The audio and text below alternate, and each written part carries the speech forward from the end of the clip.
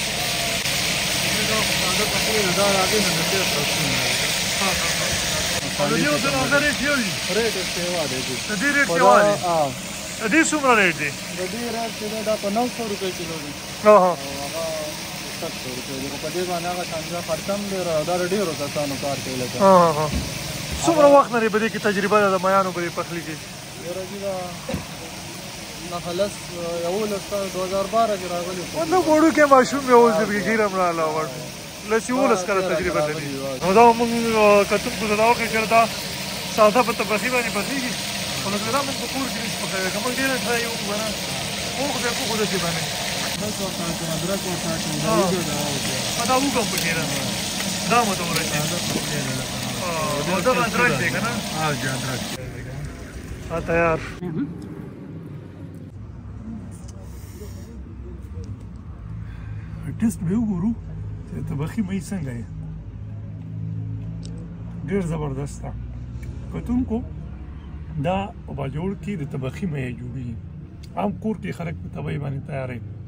نن موږ دا ټیسټ وکړ ډیره مزه کوي ډیر ښکلی دی چې چا هم دا نه وي ټیسټ کړی را دي شي او دا د طبقي مېوې دی په یخنۍ کې ټیسټ کړي د صحت دپاره ښه دی